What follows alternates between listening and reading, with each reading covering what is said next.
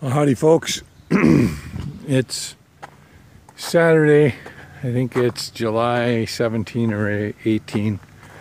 Um, just wanted to give you a little overview on what's been accomplished this week. Uh, we have footings in. Uh, this will be for the basements. There's going to be a, a wall coming out here, or a, a door. Uh, here we'll have a retaining wall to hold back that dirt. Um, and that's why this footing is there. Um, so they take this footing up to the old one. Back there's a, uh, the new basement under what was the garage and the family room with the, that had the fireplace. Uh, there's a couple of, there's one there and one there. Those are footings as well for posts that may be in there. Um, here the footing goes along and this is the area that the family room will be in. Um, continues over. We had a bit of an issue. Um, if you look down there, that's water. Uh, I think it's from some rain. I don't think the water table is that low or that high. Uh, but what we had here was the septic tank. And you can see there's the rubble from it. The building inspector came in and uh, he said, I want that taken out rather than being filled. And the reason was, is that um, it would, his concern is, is that it might accumulate water. Uh, so, you know, building inspections, they can be tense. Uh, but actually the rules are in place for for a good purpose and that's that we um, are able to build good solid buildings so that's good. This footing here steps down quite a bit and that's because over here we're going to have um, again the block wall and in here it steps down. It'll get built up a bit because again this will be uh, eight doors or four big French doors. Remember we're having nine foot ceilings in this house. This, what I'm standing on is a footing that will, uh, we'll have a post that goes all the way up and um, it'll support that, that um, gabled roof that's in that uh, four season porch. This is the uh, footing for the bathroom or the bedroom and again this will get poured uh, once the building inspector signs off that he's happy with what's been done there. this will be the door into the living, into the bedroom, the lower level bedroom. And then over in here we'll have bathroom and the like. Our um, grinder for the sewage will be over in that corner over there. Uh, today I came down to, because uh, I haven't been here for three days. Wednesday I had meetings, Thursday and Friday I had meetings. So um, came down here today on Saturday just to sort of look it all over. Um,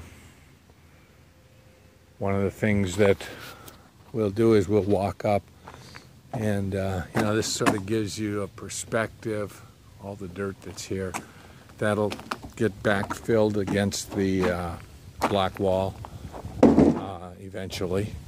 Uh, but for now, it's something that they obviously drive around. There's all those trees that were taken out. Um, Got to get rid of them, but uh, for the time being, what it is is it's some uh, some element of erosion control. Uh, you know, because we added all this dirt in here. So um, we'll walk up to the front and you'll see that we've got a lot of rubble up there. Uh, we'll have a, a dumpster brought in and see if the zebras can pick up some of this stuff and put it in. Uh, Linda and I'll end up cleaning up what's in the basement there. A lot of that stuff that you see is concrete related. next week they'll put up block walls. And um, so up here, uh, John Mancura asked if if I was going to scrap out any of the metal and the like, and I said no. And he asked if he could, if I'd just accumulated here. So I am. I'm accumulating it for him, and he'll make a couple bucks off of it. But you can see there's a lot to be cleaned up, uh, a lot of insulation and uh, like this. That's some of the uh, uh, insulation board that was on the uh, addition walls. Here's the, you know, those two bedrooms that we have. You can see uh, this was an addition, as we've always talked about, uh, and it's not very deep. It's nothing more than just a crawl space. Um, and we're going to leave it that way. We don't need anything more. Um, all of these walls, every concrete wall that we have, will go up 24 inches.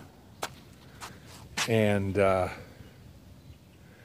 it'll go up 24 inches so that we'll end up with that 9 foot 9 clearance and then run our uh, tr floor trusses. So I'll end up with actually a 9 foot headroom as I've told you before in previous videos. Uh, this concrete thing will be gone.